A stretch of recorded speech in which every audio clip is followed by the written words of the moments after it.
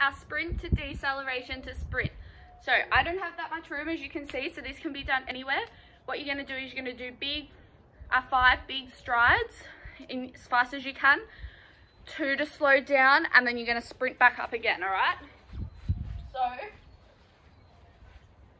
you're gonna sprint, decel, sprint.